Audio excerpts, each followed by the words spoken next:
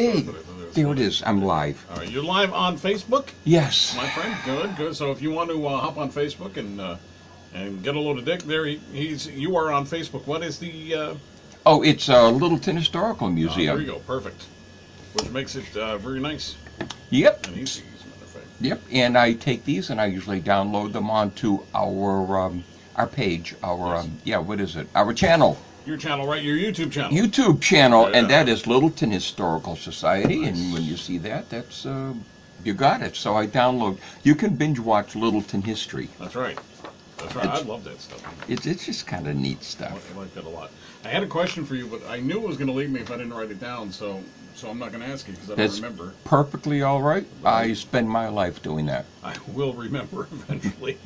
I really, 'cause it had to do with the place where I was and a building that uh, may or may not have uh, been there before. A place that you was. Uh, but it's You a place, were? a place that I was.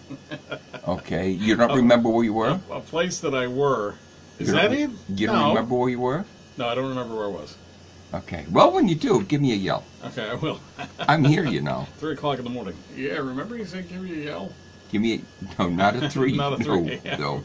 All right, so here's the deal. Uh, we have Dick Alberini in here. He's going to tell us what's happening uh, in and around the Opera House. Obviously, you guys are back open again at the uh, museum. At the museum, we are open and uh, we are following COVID. Uh, you know, we have we have some regulations that we're following that we we created, and uh, you know, just trying to be safe, keep people safe, and keep us open. So uh, when you get to the door upstairs, there is a greenish paper, Right. and it has all of our protocols. So when you get there, just call downstairs to the museum and say we're upstairs, and I Right. will come up, get you, take your temperature, and Excellent. hand sanitize you, uh, spray you with steam, put you in a plastic bag, and bring you downstairs.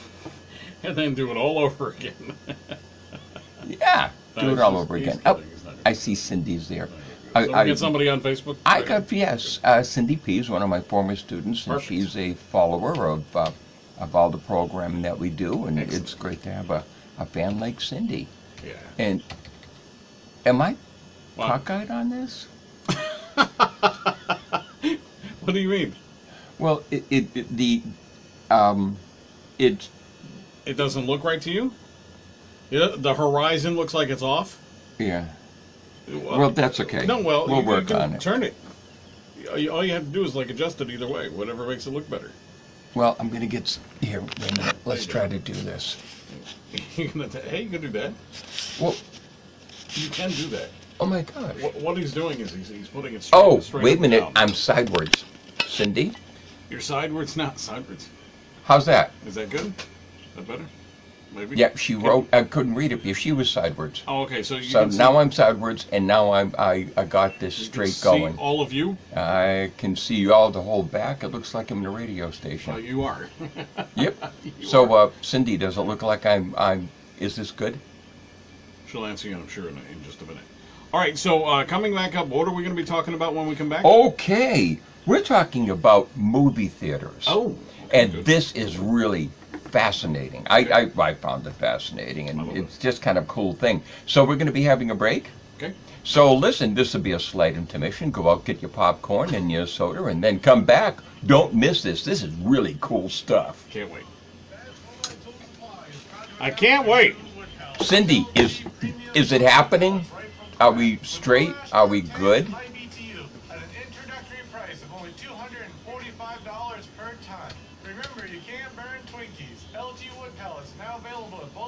It's a beautiful Route 5 in day. St. Johnsbury and Route 302 in Wells River. Don't miss this introductory price of just $245 a ton. Dad's 4x Tools Supply has it in Okay. stock I, now. I, it's the last she wrote was that I was sideways. Are you still sideways now? Oh well, no, she's not responding. There may be 500,000 people that have a health condition for which they're, they're receiving medical. You should be able to put it back that way. You should be fine. Yeah, but it it won't rotate. Is it locked? I Try it again. Try to turn it and see what happens. Oh, wait a You'll minute. see it change. No, it didn't. Rotate your device. You can't turn your phone while live. Oh. Well, you could shut it off and come back on again. I got Phil. Wait, Phil. Hi, how are you? Nice to see you. companies to cut prescription drug prices. All right. Still got me? Standing up Oh, I got something going on. Yeah. Still working? Well, I'm gonna put this back up here, and uh, we'll just go from there and see what happens. But I, I'm seeing that Cindy is her little icon up in the corner is like flashing off and on. May I take a look? Go I'm just, ahead. gonna, I just want to turn it and see what we see. Yeah, that should be good, actually. Yeah. It, it's still sideways? No, no, she did it Before right you back. were, yeah. I don't think you are now. I see what you're talking about. The uh, North Country Way. whoa. Okay. Sorry about that. We dropped everyone. Sorry, guys. There we go. I'm a squeezing. I won't bother you anymore. Okay. Uh, it didn't hurt it, did it? No. Good. Testing is available Monday through Friday, 9 a.m. to 5 She stopped flashing. If you're No, still, if you're looking at you okay right now, you should be good. I'm looking at me okay. Okay. Okay. Johnsbury Road in Littleton. Please bring appropriate insurance information. It and a photo is. ID We've got 30 seconds. Okay.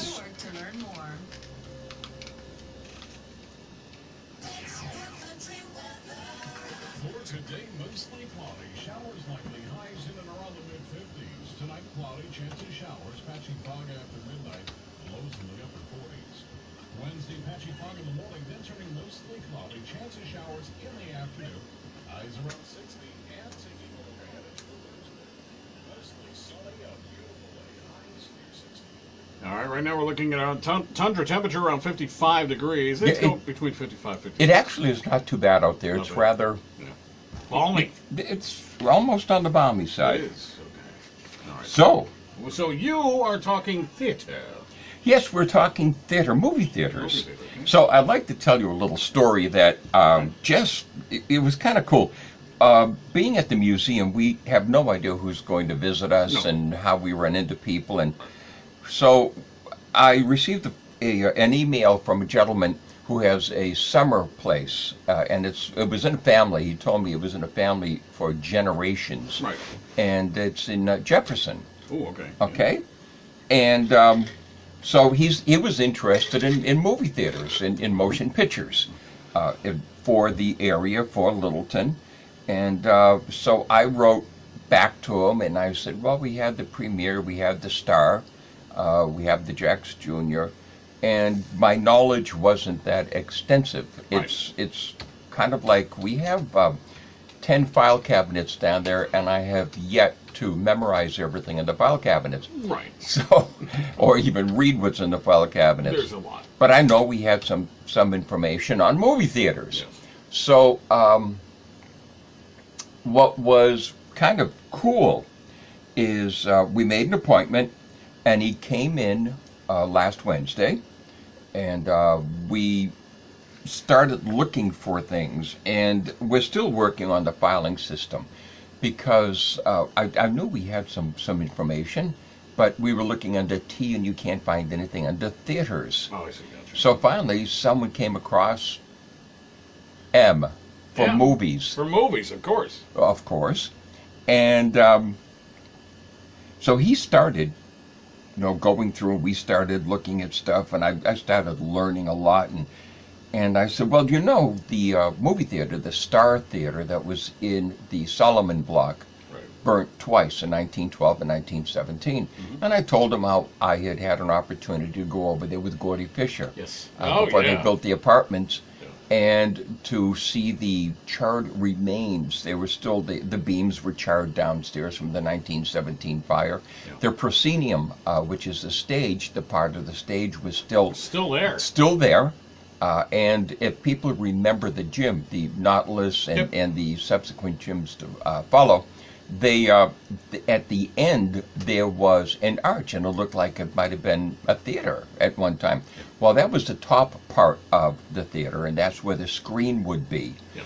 And it went down cellar, and you could see the bottom part of the theater because what they did is they divided the floor space yeah. and they just kept the proscenium there and up toward the ceiling was the stage.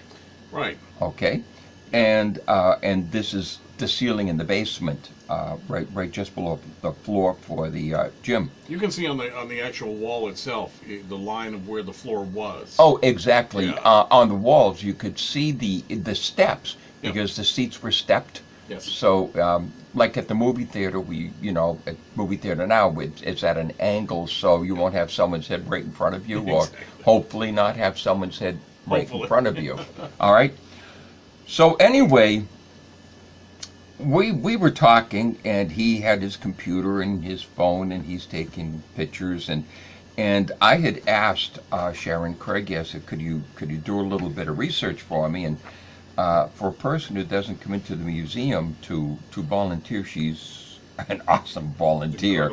Uh, she found all sorts of newspaper clippings, and I started to take. I downloaded them, printed them out. We cut them. We're we're building our files very well, and um, so I, the, the the gentleman and I were talking. His name was James, and uh, and I said I didn't ask him where he worked.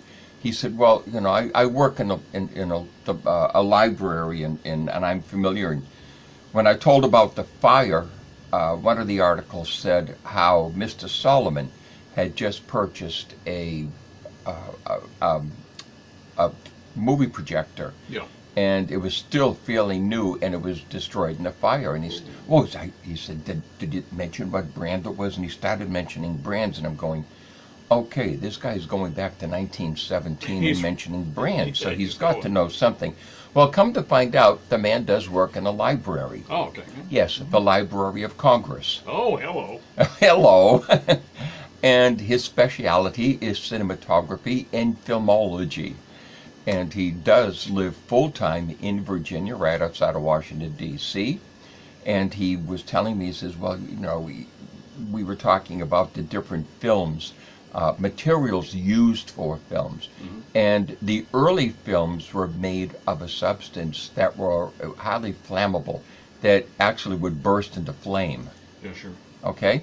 And uh, he says we have several vaults that have just those, and they're they're under special uh, atmospheric conditions.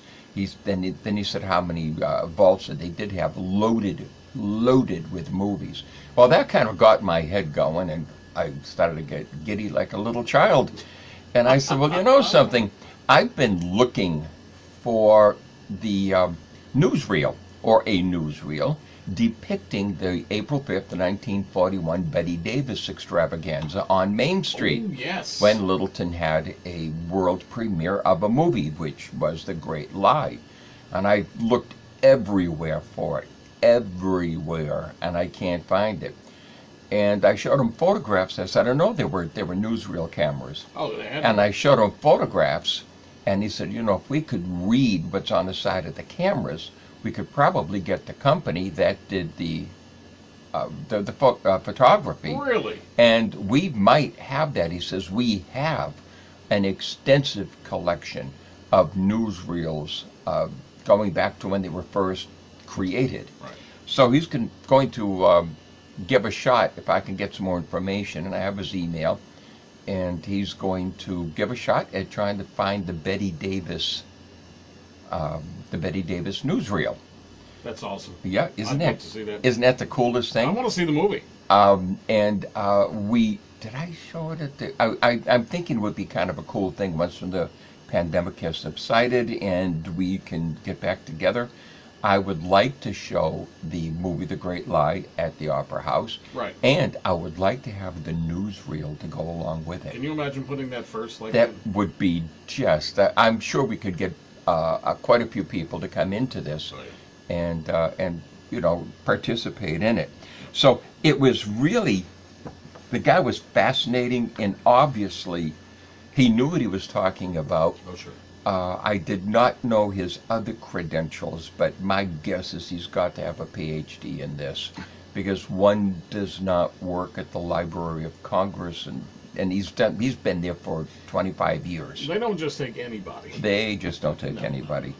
So I just very, very, very interesting.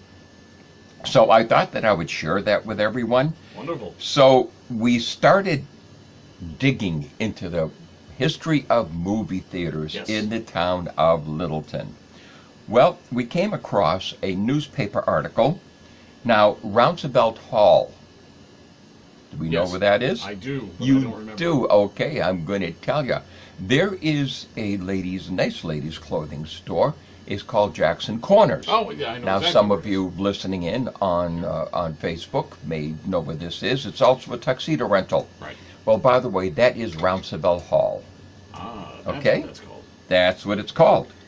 Now, he had asked me if the second and third floors were once open. Uh, for example, there was no floor. It was like when you went in, it would be like a two-story opening in there, like like an a small opera house. Okay. yeah. And I said, I don't think it was because what I do remember is there was an open hall in it, but then there were also tenements, apartments in it. Right. So it showed that there was a company from Boston who would come to Littleton and set up their projector and show moving pictures Oh, in the hall. Now, the more I delve into this, the more I, uh, I get childhood memories come back. And I've mentioned this once before. Uh, my grandmother, who was born in 1879, uh, used to say when I would go to the movies, she'd say, You're going to the pictures. And that was the way people, it was. It was the pictures. Didn't say movies. You're going to the pictures. All right. Another thing, picture show. Yep. All right. Another term from that isn't used an awful lot or at all. So they would show they would show movies. Now that would be kind of like the first thing. Now the first movie theater in town was the Grand, The Grand. Yeah, that sounds uh, familiar. 1908. Yeah, not that I was there, but I'm thinking I heard you talk about it before. All right, the Grand. And what they did is they rented a room at the Northern Hotel, which I had said many, many times was Used across the street, used to be across the street where the movie theater is. Yes. Place burnt, the whole thing burnt uh, to the ground 1924. Right. And so they rented rooms in there. And we have to remember that movies, we, we go to a movie now and you're there for 90 minutes, two hours, two and a half hours seeing a movie. Yeah. Well, they didn't make movies that were, if, if it was an hour movie, it was like five reels Sure. Sure. you know, 20 minute reels, 15 minute reels. So what would happen, they had one projector, they would get to the end of the reel, there'd be an intermission, they change reels, then you would end up seeing part two, and then they'd change reels, you'd see part three, and so there was this, this movement, this constant movement in the, uh, in the theater, the projection room. Yeah. So they were on the first floor, and it said it used to be a barbershop and pool hall. Okay? And it was a section, if you looked at the Northern Hotel, it was on the right hand side, and there was a veranda, a porch there, and you would go through the porch, and you would go into the room where you would enjoy a movie. Well, after that, there was another theater that was called the Theatorium. And I, I had no idea what that was until the research started coming out. Same location. It was in the same location and it was called the Theatorium. I love this word. It's a combination of theater and auditorium. Ah, Theatorium. Theatorium. Okay. Uh, or theatorium. Theatorium. I, I'm mispronouncing it. Got you. Pronouncing it. All right. Located in the same place as the Grand in the hotel, but it was more than just a movie theater. The owners provided concerts, concerts, dances, talent nights, poetry readings, and lectures. Lectures. Okay. So you just didn't go to this place uh, to see a movie, or you went to see maybe a one reel movie Right. Right. uh, or two reels. Uh, you would see maybe 15 minutes to 30 minutes of movies. Then you would get a lecture. So there was a lot of cultural things. They also would do slideshows, and the slides were glass slides.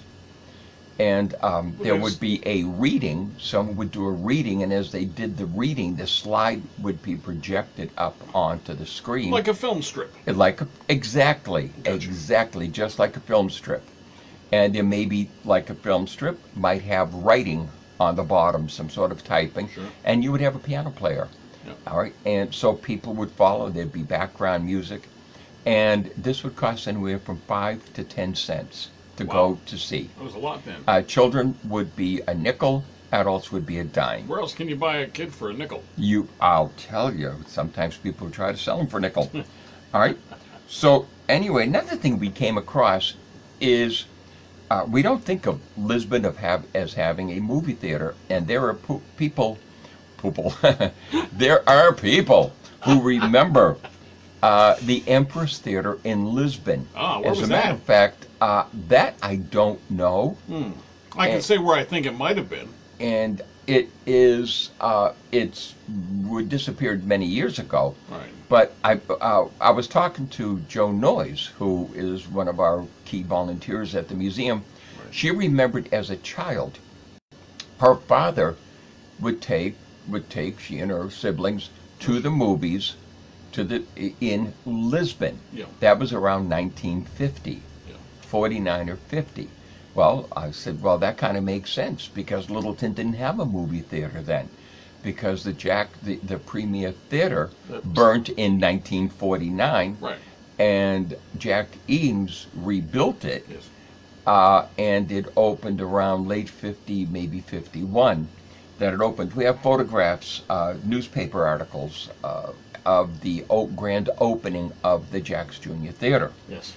So, anyway, they used to go to the Empress, but also during that time period, the Opera House was used. Uh, Mr. Eames, Jack Eames, had permission to use the Opera House to show movies. Oh, well. good. Now, here's the kicker. We are familiar with the chandelier in the Opera House, the Yes. big lighting fixture up in that dome. Okay, that's not the original Oh. that is a reproduction of the original. Oh. And it does look like the original, but the original disappeared. No one knows to where. Oh, no. And uh, because in 1984, when Littleton was hitting its bicentennial and they were redoing the Opera House, people were looking for the original, could not find it. Now, I had heard a rumor that it was removed because the it was in the way of the projector. The projector was up in the balcony, and it would uh, project down to the down to the screen that they set up a screen, and it would cast a shadow. Oh. So it was removed so it wouldn't cast a shadow, and where it was removed to still remains a mystery. Nobody knows where it is. Nobody, nobody knows what happened to it. Check Alberini's house. Yeah, I, my ceilings aren't that high. Okay. but it's just kind of a neat, neat thing. Right. So I, I do have uh, from uh, May 28, 1908, uh, thanks to Sharon, I have a newspaper article called Moving Pictures. Oh, good. The Grand Moving Picture Company has rented the room in the Hotel Northern building until recently used for a barbershop and pool rooms. Commencing Saturday, two entertainments of moving pictures, illustrated songs, and phonograph concerts will be given. These are the crank up phonographs. yes. And people, these are expensive. Very. And 1908, just eh, you didn't go into everyone's average house and find a wind up phonograph. no, that was that was big money. They're extreme big money. So people would go and see these marvels of technology and listen to these marvels of technology. Um, and it said, uh, let's see, phonograph give, uh, concert will be given one in the afternoon from 3 to 5.30 and the other one in the evening from 7.15 to 10.30. So they did have, you know, people stayed out late at night. Oh, sure. And, That was and, late uh, then. but that was that was uh, you know I think that was kind of cool. Now um, I have a uh, the New Star Theater. Now this is from April thirteenth, nineteen eleven. The New Star Theater uh, Saturday night marked the opening of the new motion picture theater in Littleton in the new auditorium in the Solomon Block. Now this is the auditorium that I told you about. I got to visit that that burned. Yes. Okay. Uh, there was a large and appreciative audience during the entire evening. The new quarters seemed to meet with approval as expressions of delight were heard from all as they enter the hall. Mr. Solomon, the owner, has made every effort to provide for the comfort and enjoyment of his patrons. And the Star, the name by which the new theater is known, will be a popular amusement place. The carpenters are still busy putting on final touches, and the side exit and stairway leading up to the street at the end of the bridge is expected to be in order this week. Ooh. Now, if I remember correctly, on the side of the building there is a um, a fire escape Yes, there is. that goes down. So when the gym was there, when you went into the area where the proscenium was, and that's I think they kept weights in there and had uh, exercise bands. There was a door that you could take and go out and then walk up to the bridge on the side of the building. yes. It's still there. okay, and it is still there. Yep. So um, you have to keep in mind that at this time it was a wooden block. It, Okay. it was built out of it was built out of wood. It was not brick. Okay, um, and so the theatorium was actually purchased by Mr. Solomon, moved over there, and then he changed it to the Star when they renovated the space. Okay, I mean Littleton was just. It was just hopping. I think it's just. This is just really cool stuff. We're busy and on the forefront of a lot of things. people people wonder you know they look at like we're here we are in 2020 and there's so much to do and they look back at the time like uh, uh, 112 years ago Yeah. like people just sat around saying well what are you doing tonight i don't know i think i'm going to sit here and wait to die uh, it's like no people Oh, people did people things. lived people did things and as i used to tell my students remember the world wasn't created the day you were born nor the day i was born it was going pretty strong well before we arrived here It was. and the how the world changes due to us is up to us Up to us, sure. sure. Okay, so it was. Remember, it was located where Nautilus was.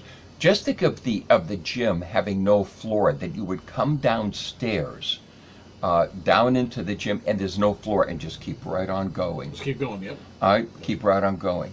All right. Um, then the fire. Here we go. Now this is uh, the 11th of April, 1917, and it says um, Mr. Solomon estimated his loss close to seventy-five thousand dollars. It says the company also loses all of the furnishings at the Star Theater. So there was, you know, that was just major.